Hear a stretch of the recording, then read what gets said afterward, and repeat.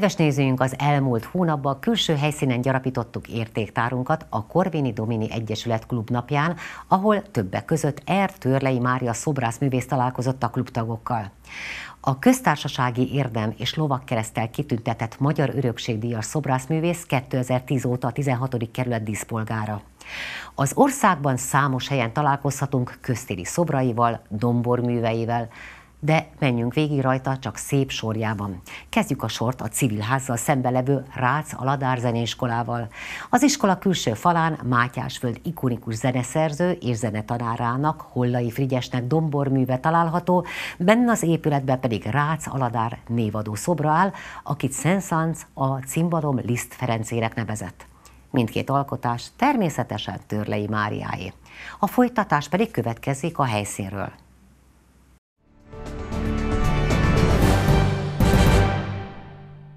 Elmegyünk az STK-ba, aminek a felújításában közre működött Végaladár, és ott van bent egy olyan dombormű, ami szintén nagyon a szívünkhöz műt, egy orvosról, akit Földes Gézának hívtak, és ikonikus. Amikor, Igen, és akkor innen átadom a szót.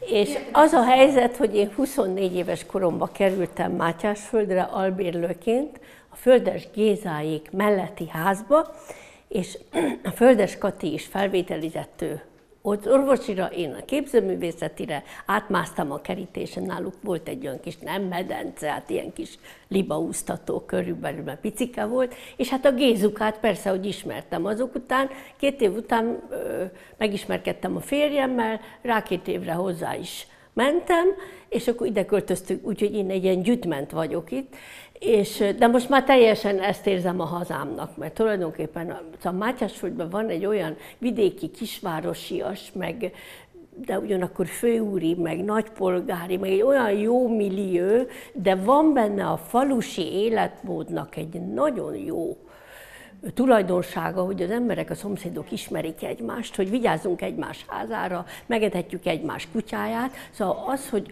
van egy olyan emberi kapcsolat az emberek között, ami Budapesten, de Budán sincs, mert Budát csak mondják, hogy hű Buda így, úgy Buda úgy, hát oda el nem mennék a világ minden kincsése, mert ott fög a busz, mindenki ott van, senki se ismeri, vagy csak utálja, jönnek az új gazdagok. Szóval az, az, az nem egy olyan. Én, én akkor költöztem ide, amikor még földút volt, és a férjem még kalucsnit húzott, szóval, szóval elképesztő, de, de, de akkor is ilyen volt a hangulat, és most is, mert azért a régi családok azért megmaradtak.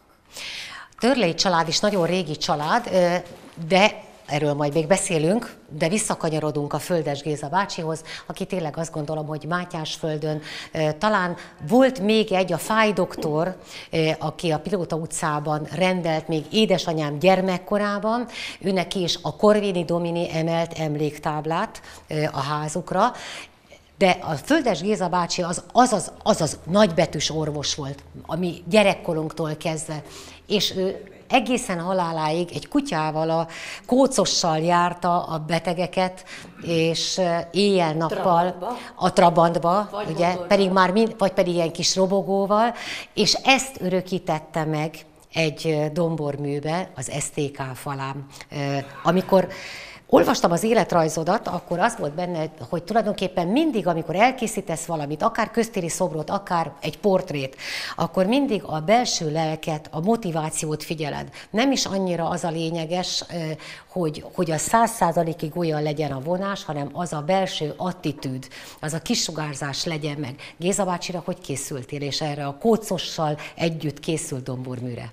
Hát kezdjük ott, hogy az anyósomhoz járt minden héten, és akkor nálunk is ebédelt és akkor is jött a kócos. És hogyha nem volt bor az ebédnél, mert abban az időben még nem vették ezt olyan szigorúan, akkor, akkor hozott be az autóból egy üveggel. Hát szóval, és, és mindig mosolygott, szóval valami olyan, olyan fantasztikus jóság, vidámság, derű, sugárzott belőle, amit, amit sikerült azért belecsempészni. Ilyenkor mindig be vagyok tojva egy kicsit, amikor valaki érzelmileg közel áll hozzám nehéz, nehéz, de, de, de sikerült elkapni azt a valamit, meg a kócost is, a lánya is mondta, tehát tőle kaptam a Katitól a fényképen. Hogyha az SZTK-tól egy kicsit messzebb megyünk, akkor szintén volt Mátyásföldnek egy ikonikus lakója, egy másik kutya. Ez a kis kóbor kutya úgy került az utcára, hogy meghalt a Meghalt a gazda, gazda és akkor én... gyerekek eladták a házat, és, és az új lakó talán nem volt elég kedves, és sehova nem akart beköltözni, ahol enni kapott, akkor ő, ő állandóan nyitva kellett lennie az ajtónak, hogy ő minden nap kétszer elment, hogy hát ha hazajön a gazda, és én ismertem ezt a kutyát.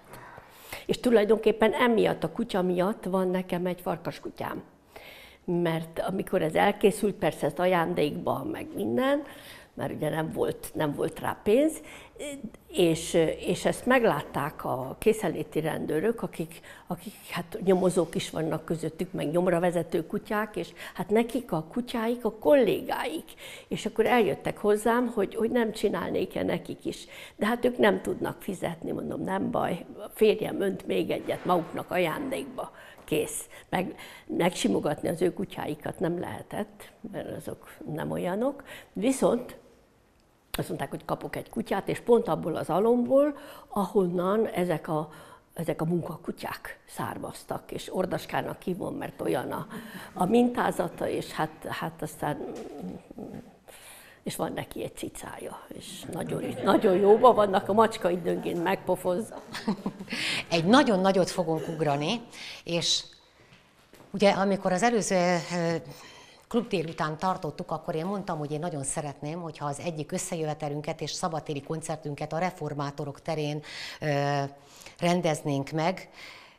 Ez az én kedvenc helyem a kerületbe a, majdnem az utolsó munkái közé tartozik Máriának. Tudnék, egy köztéri szobrot elkészíteni nem két nap és nem két óra a reformáció emlékévére, de nem a reformáció emlékbizottság pénzéből lett létrehozva ez a reformátorok tere. Én megmondom őszintén, hogy az utóbbi időben nagyon kedves ismerősömet is elvittem oda, és mondtam, hogy nem létezik, hogy nem ismered. Hát én, hogyha le akarok ülni és letisztítani a gondolataimat, akkor kimegyek a reformátorok terére, leülök, ahol egy hármas szobor együttes van, Calvin, Bocskai és Luther hatalmas nagy szobra középen az életvizek útjával. Fantasztikus emlékmű. Ennek a születéséről szeretném, hogyha beszélnél nekünk. Hát a Szatmári Kristóf országgyűlési képviselő, általában itt az önkormányzatnál a vezetők eléggé hívő emberek. És hát ők már készültek jóval előre, és a Kristóf elő is teremtette a pénzt, illetve piszkált engem, hogy találjam ki. Hát egy évig azért gondolkoztam rajta, én katolikus vagyok, az egyik dédapám az református lelkész volt, akinek a felesége luteránus volt, és azért református nagyanyám azért elég sok mindent. Mesélt azon kívül a Deák evangélikus templomba jártam én még az antivilágba is, meg most is, mert annak idején ugye nem lehetett pakpassiokat hallgatni, csak ott. Igen és, és, és hát mindenféle vallású barátaik és ismerőseink vannak, és hát akkor tulajdonképpen megkaptam az irodalmat, és, és, a, és rendkívül örült. Például a Gáncs Péter volt akkor, még, még, még nem volt nyugalmazott, tehát még aktív püspök volt, és borzasztóan örült, hogy én egy fiatal Lutert raktam oda hogy nem mindig, az, nem mindig azt a sörpocakos, a palacsinta sapkával, hanem, hanem egy fiatal embert, aki tulajdonképpen, mert tulajdonképpen a luteránusok és a katolikusok között nincs is sok különbség. Ő tulajdonképpen a pápaságnak a, a disznóságai, meg a, meg a bucsúcédulák miatt kezdődött el ez az egész, és, és a fiatal ember, aki, aki a kezébe tartja a a Wittenbergi kapura, amit szerintem nem szegeztek ki, mert írni, olvasni is nagyon kevesen tudtak az ő pontjait. És hát akkor természetesen mind kerestem a Bibliából olyan, olyan ö, idézeteket, amik, amik az embernek vigaszt nyújtanak, mert megfigyeltem, hogy nagyon sokan, sok idős is üldögél kint, és vagy olyan egyedülálló ember, vagy akár fiatal, akinek gondjai vannak, és ezen kellene segíteni. A hármas szám mindig jó, a kör alak az egy tökéletesség, a gömb a legtökéletesebb, ugye onnan jön ki a, a, a forrás, maga az Isten. És akkor jött Calvinnal voltam egy kicsit problémában. Calvint nem nagyon tudtam, hogy megközelíteni, mert egy kicsit haragudtam rá, kivitette lovaskocsival még a orgonát is, hogy semmi ne zavarja az igét, csak az ige. Hát lehet, hogy ő azt hitte, hogy mind csupa professzor ülött, de rengeteg olyan ember volt ott, aki írni, olvasni se tudott. Tehát tulajdonképpen az a, az a túlzott puritánság, az nekem nem nagyon tetszett, aztán jobban beleástam magam, meg egy csomó reformátussal beszélgettem, és, és az, hogy elvesztette a feleségét, a két gyerekét, csak a könyv maradt, csak az írás maradt, és ezért egy óriási Bibliát tettem a kezébe, és azt a lángoló tekintetet próbáltam az egyik szobrász kollégám, mert ugye a zsűribe is, meg előtte is az ember közben megnézeti a, a jó szemű szobrász kollégával, aki nem a saját szobrát akarja megcsinálni az enyémben, nem segít, hogy megtaláljak mindent, hogy mitől lesz igazán jó az enyém, és a hozzá ne nyúlj a szeméhez, mert olyan lángoló, mint egy proféta. És óriási kezeket tettem oda, tulajdonképpen nem lehet ekkora keze egy embernek, de az óriás kéz és a nagy biblia hozzá kellett, mert a szuggesztivitás a legfontosabb. Szóval egy, hogy vetítsem ki az ő emberi lelkületét, keltsem fel a kíváncsiságot, mert ha nem keltem fel a kíváncsiságot, és csak úgy elmegy, akkor nem ért semmit a munkám. És úgy mind a kettő papi talárban van, és hát akkor mit csináljak én bocskaival? A bocskait viszont azért kellett oda tenni, egy, mindig kell három kettős, nem jó, mindig a páratlan számok a jók. És Bocskai volt az a politikus, akire mindig fölnézhetünk. Rendkívül sokoldalú ember volt, tudott, mint diplomata szerepelni, tudott harcolni, kemény ember volt. Ő volt az, aki a töröktől megvásárolta tulajdonképpen Erdélyt, akiben volt annyi diplomáciai érzék, hogy a bécsiek által ellopott, most is ott van az ő török korona elfogadta, de kijelentette, hogy ő nem király, de mint ajándéknak nagyon örült. Szóval minden szempontból, és aki a saját vagyonából a hazáját próbálta megvédeni, megvásárolni Erdélyt, hát megemelem mind a három kalapomat. Na most őt díszmagyarba tettem, és ugye az ő idejéhez fűződik a, a vallásbéke is, de miután, miután a díszmagyar ugye eddig ért, tehát a, a tért kilátszott, de mondom, hogy néz az ki, hogy mindegyiknek csak a cipője látszik, és nem? Hát egy kicsit csaltam, és, és, és lej, lejjebb engedtem a ruhát. Ez az ember nem volt szép. Sokszor puposnak is ábrázolták, hát én egy kicsit puklisra tettem, mint a férjemet, és próbáltam azért nem olyan csúnyára tenni, mert hiszen nem azért vagyunk rá büszkék hanem azért, mert ez egy, ez egy olyan tehetséges, diplomata, zseniális hadvezér, és a hazájáért a vagyonát feláldozó, mutassanak most nekem egy, még egy ilyen államférfit. Tehát igenis kellenek példaképek, és a fiataloknak is mindent van játszótér, meg föl lehet mászni a kilátóra, hát hát, ha elolvassák, ami oda van írva, ami vigasztaló a vigasztalódóknak. És ha tetszik neki az arca, és az kifejez valamit, és minden századik nyom rá az internetre, hogy ki volt ez, és, és akkor esetleg ő hall és akkor elmondja valakinek. Szóval tulajdonképpen a, a köztéri szobrászatnak annak, annak vagy csak gyönyörködtet, mint egy kút, hogy szép legyen és jó legyen a környezetében és csobog, de itt olyan, olyan történelmi irányvonalakat kell adni, hogy, hogy a látvány hason annyira, hogy ő utána menjen. Hagy erősítsek egy kicsit rá, nem erre a részére, hanem arra, hogy a köztéri szobroknak hatni kell, Hogyha egy picit odébb megyünk, akkor régen úgy hívtuk ugye, hogy Tanácspark, aztán Havashalompark, és most egy új nevet kapott, a Kertvárosi Olimpikonok Parkja nevet kapta meg, tehát az a bizonyos Tanácspark. Ott van az István szobor, ami szintén Törlei Máriának az alkotása, és ahol az augusztus 20-ai ünnepségeket szoktuk tartani. És ha elsétálunk az Erzsébet ligetbe, akkor ott találjuk a lángot, az 56-os lángot, ami szintén Törlei Máriának az alkotása, alkotása, előtte az a bizonyos babai szobor, ami szintén, még mielőtt vittem e, ismerősöket e, a reformátorok terén, és átmentünk ugye az olimpiai e, bajnokok parkjába, és megnéztük az István emlékművet. És ott az egyik vendégem Az mondta, hogy érdekesek az arányok, nagy a láb, nagy a fej, kisebb a test. Hogyan kell a szobrásznak dolgozni ahhoz? És akkor itt majd kapcsolódik. Tehát milyen alap kell hozzá, hogyan kell azt fölépíteni, hogyan kell megmintázni a szobrot, hogyan készíted el kicsibe, nagyba, milyen anyagokat használsz, hogy aztán az bronzva öntve álljon a helyén az idők végezetéig. Hát az a helyzet, hogy amikor ilyen nagy ugye 5 méter a szélessége ennek a körnek, és 5 méter magas a nagyobbik árkád, mert a két árkád, az ugye az egyik az államot, a másik az egyházat szimbolizálja, és keretet ad Szent Istvánnak, akinek megmaradt nagyon sokáig a páncélja, és onnan tudjuk, hogy rendkívül szélesvállú, nagylábú, 150 cm magas férfi volt.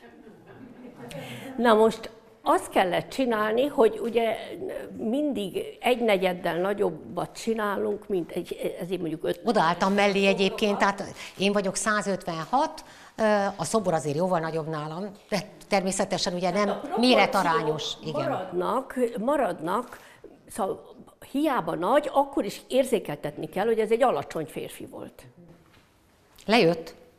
Mert az Árpád-háziak vagy kicsik voltak, mint én, meg az Aladár, vagy pedig két méteresek voltak, ugye Szent László. Mert ezt már tudjuk, ugye, hogy a vikingekkel, stb. meg kikkel keveredtek, és tulajdonképpen innen van ez a rendkívüli nagy méret, hogy vagy kicsi volt, vagy nagy. De viszont, hát kicsi a bors, de az erős, és, és, és Szent István az, az... Mennyire kell alá alapozni egy ilyen köztéri szobor együttes, vagy szobrot, és hány közös munkátok volt ilyen szempontból a darárral, ahol ő, ő készítette elő az alapot?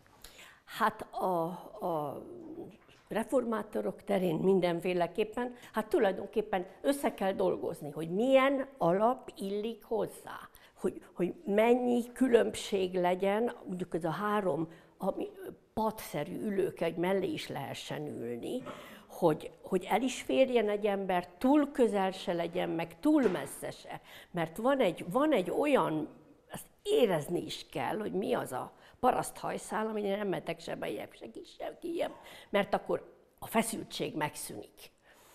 Az, hogy, hogy attól függően, hogy ez most hány kiló lesz, attól függően megyünk le, de általában 80 centi a fagyhatár, attól függően, újabban azt szeretem, hogy egy picit menjen össze, mert akkor valahogy így kinő a földből. Mert szóval a gombtól az utolsó kis öltésig mindennek stimmelnie kell, és nagyon jó, ha az ember egy építéssel gondolkozik, mert az építész tud nagy méretben gondolkodni. Milyen anyagokkal készíted elő? Mert ez azért vagyok, mert ez ugye kis kuliszták a háttérből. Mikor telefonáltam Máriának, hogy meghívom ide, mint diszpolgárt, és egy kicsit meséljen nekünk, akkor mondta, hogy várja a maltert, letörlöm a kezemről, vagy a gipszet, mert, és azzal a gipszes cipővel nem fogok bemenni a, a lakásba, hogy megnézem a naptárt, hogy jó-e. Szóval ugye azt gondolják, hogy a szobrászművész Egyébként a művészemberek rendkívül fantasztikusak, teli vannak lendülettel, életerővel, tehát nem mindenki olyan, egyébként egy munkácsi szoborral kapcsolatban írta Mária azt, hogy, hogy ugye munkácsi egy nagyon melankólikus valaki volt, de hát ez a művészeknek a legtöbbje bohém, és imádja az életet és a művészetet, és, és pont azért, azért tud pluszt adni azoknak, akik a, az alkotásait nézik. Tehát Mária pontosan ugyanilyen, amikor először találkoztam veled, és így álltam veled, hogy úristen, a nagy szobrászművész, és egy belevaló jó fejnő. Hát teri van energiával, vitalitással, egy fantasztikus szem, lenyűgöző, lehengerlő szem. Egy szobrász az nem, szóval annak azért négy lábban kell állni a földön. Szóval nekem nagyon megtanított a Somogyi Mester a főiskolán, hogy vázat komolyan meg kell építeni, mert például a Szent István agyagba, alatta ugye különböző fa darabok, ilyen únyi vastag vasat meg kell hegeszteni, hogy mi hol van, meg a négy végtag, stb. és jönnek rá vastag, aztán egyre kisebb és vékonyabb falécek, és végül picike fakeresztek, mert ilyen rét, kisebben megvan a szobor, ilyen réteg agyag jön rá. Az agyagot nem, szóval az nem tartja meg magát. Most ha rosszul csinál meg a vázat, úgy rosszul, hogy kicsit hosszabb vagy akkor bonthatom vissza, ugye? Mert a fenekén nem jöhet ki a tudom, a térde. Szóval, szóval ott, ott stimmelni kell a dolgoknak, viszont nagyon stabilnak kell lennie, mert Somogyi Mester a 600 kilós szobor így megindult üvöltött egy nagyot, akkor fiatal volt, és oda mentek a többiek, és megfogták, és hatalmas elvas, oda minden, bum, hegesztés, stb. Úgyhogy én megtanultam azt, hogy jó, mi statikát is tanultunk, mondom, építészetet is. Szóval nekünk, nekünk azért vigyázni kell. De engem nagyon csap a szobrom, azért akkor baj van. Vagy, vagy, vagy, vagy a tűzzel megégettem a kezemet, vagy, vagy a kalapáccsal szétverem a kezemet, amikor követ faragtam. Tehát akkor most megtudjuk, hogy követ farag. Faragtam régen, fiatal koromban. Agya dolgozik, hegeszt. Nem, azt a férjem csinálja, csak néha... Ja, jól kell tudni férhez menni. Meg a gipszöntést is, az maga egy szakma.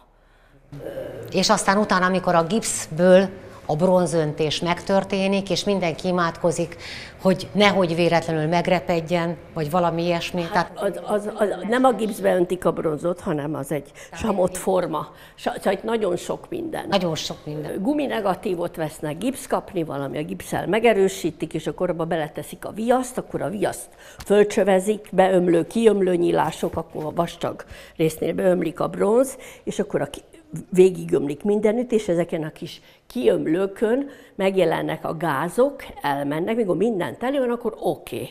Akkor jön a következő utána, utána másnap leverik ezt róla, azokat levágják, ami nem kell, homok fújják, és akkor utána megnézik, hogy mennyi, mennyire kell cizellálni, nem volt ott egy leheletnyi repedés, stb.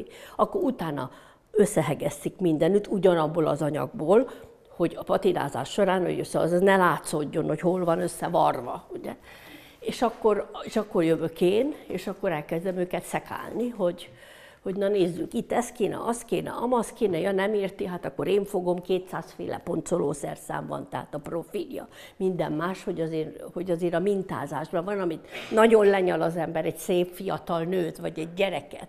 És ahhoz képes, hogy én mit, hogy képzelek, azon kívül egész más agyagba, egész másképp néz ki gipszbe, egész másképp néz ki bronzba. Ja, hogy ez eredetileg ilyen volt, jó, de ez most mégis úgy érzem, hogy itt még ezt kell, ott még azt kell.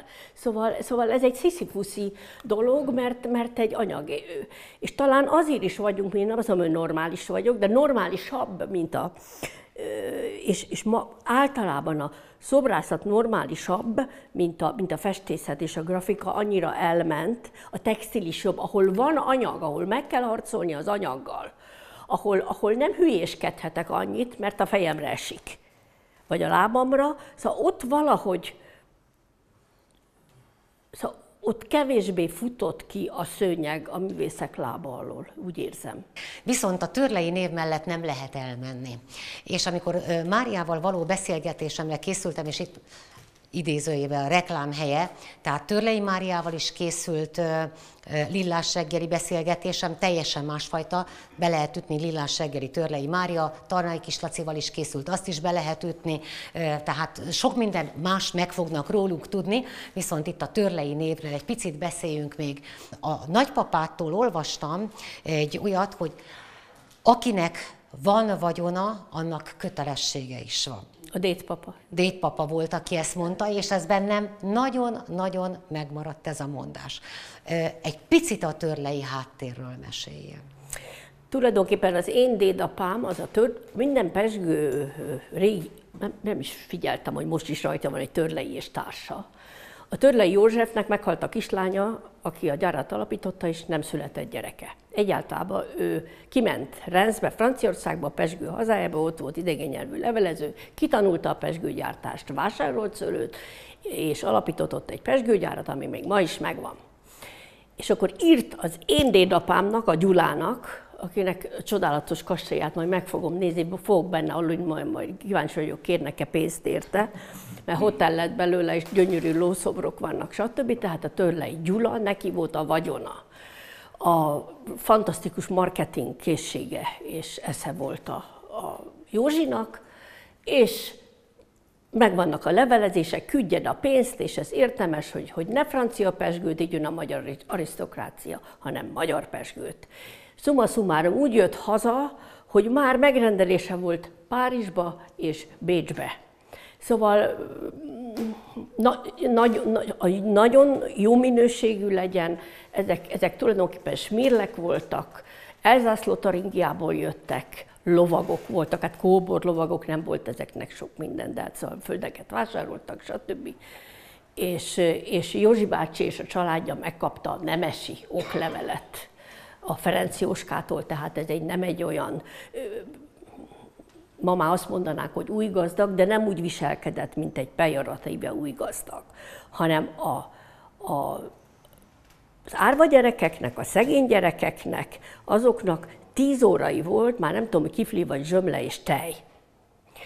Külön volt alapítványa a tehetséges gyerekeknek, a tehetséges szegény gyerekeknek, a tehetséges árva gyerekeknek, stb. stb. Gyurkovics Tibor felesége szedte ezeket Ez egy elképesztő, hogy mennyi alapítványa volt, mikor meghalt az özvegye is, tovább folytatta, és végig a család, amíg ez volt.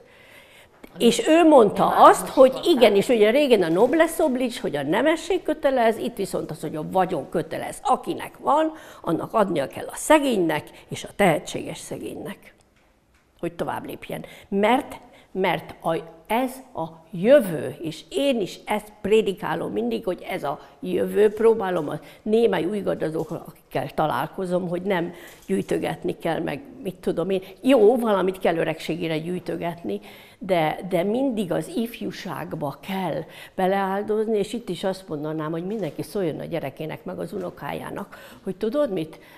Azt szeretném kérni karácsonyra tőled, hogy egyszer gyere velem ide, vagy a születésnapomra gyere el egy ilyenre, csak egyszer, úgy, úgy meghallgatni. És hiába vagyok én is anyuka egy saját gyerekkel, három ilyen pótgyerekkel, meg, meg gyerekekkel, meg én nem tudom, ott vagyok a pót nagymama, mert nincs nagymama. Szóval én vagy szobrot főzök, vagy kaját. És, és nincs nagyon másra időm, ezért nem megyek én sokszor ilyen-olyan eseményekre, mert egész egyszerűen már este már lóg a nyelvem mert azért már mégiscsak 72 éves vagyok, és, és lehetőleg azért a szobraimba, meg a, úgy érzem, hogy a családomba kell beleölnöm a rengeteg energiát, meg ezekbe a fiatal gyerekekbe, hogy valamit próbáljak tenni a jövő érdekében, mert én már alulról szagolom az ibolyát, amikor egész Nyugat-Európába arabul fognak beszélni, de szeretném, ha itt nem ez lenne. Azt gondolom, hogy ez egy tökéletes végszó volt. Törlei Mária!